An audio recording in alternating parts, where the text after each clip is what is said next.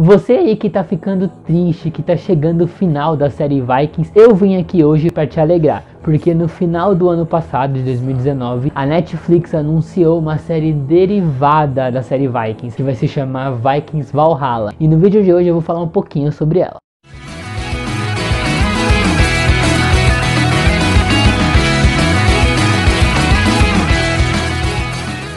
Opa, beleza? Meu nome é Gabriel Brito, seja bem-vindo para mais um vídeo aqui no canal. Galera, eu fiquei muito feliz com esse anúncio dessa série derivada de Vikings, porque Vikings é minha série favorita, é uma série assim que me pegou de jeito, sabe?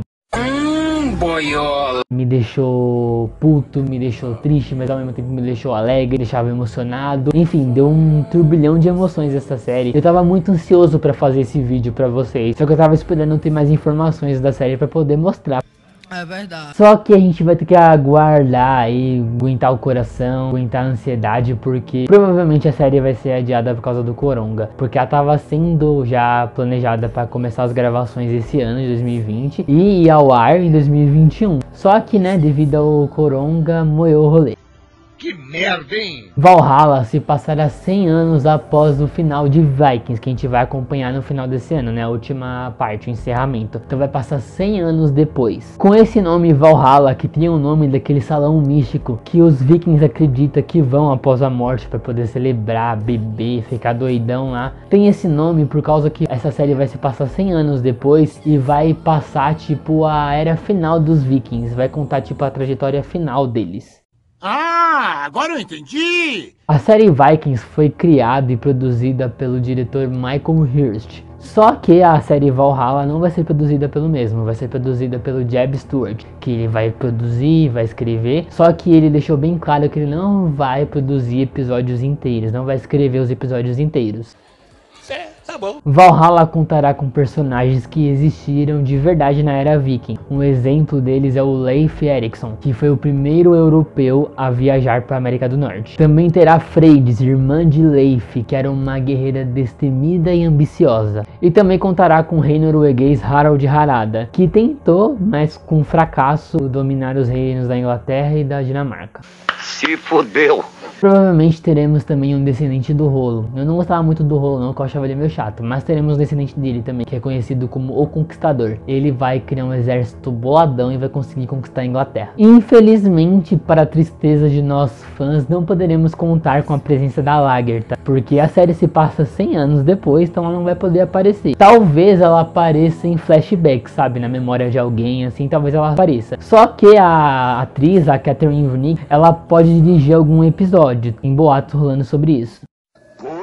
A mesma coisa com o Bjorn, ele também pode aparecer através de flashbacks, memórias de outras pessoas, tudo mais, mas também a possibilidade, né, o ator disse que a possibilidade dele aparecer como um novo personagem também. Ele sentiu muita vontade porque ele falou em entrevistas que foi um dos melhores trabalhos da vida dele, ele gostou muito de atuar na série Vikings. Então, pode ser, né, que ele apareça com um novo personagem. Ele mesmo disse que a temática Vikings pode abrir um mar de histórias, né? Então pode ser que ele apareça assim.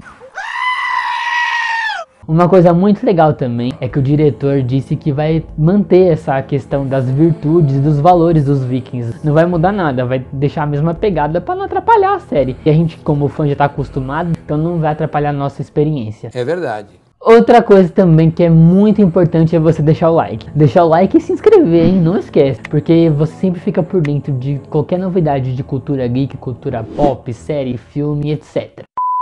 Como essa nova série foi encomendada pela Netflix, a Netflix já encomendou 24 episódios para a primeira temporada, mas provavelmente eles vão seguir o mesmo esquema. Eles sempre divulgam tipo 10 episódios assim em primeira parte e depois divulgam mais 10 episódios na segunda parte. Eles vão dividir, eles sempre fazem isso, né? Dividir a temporada em duas partes, até para deixar a gente mais ansioso, né?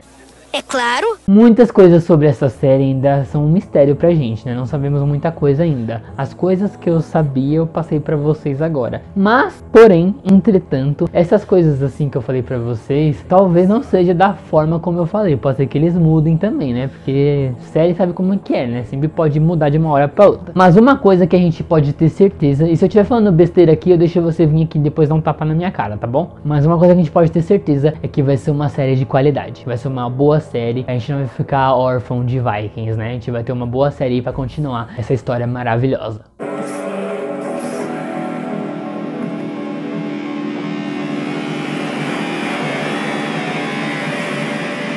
Mas e aí, tá tão ansioso quanto eu pra essa série? Então deixa aqui nos comentários o que você achou do vídeo, o que você espera dessa nova série e tudo mais. Agora tá aparecendo mais dois vídeos pra você assistir. Escolha um da sua preferência, ou então assiste os dois, que tenho certeza que você vai gostar dos dois. Aproveita também já maratona o canal e eu vejo você na próxima.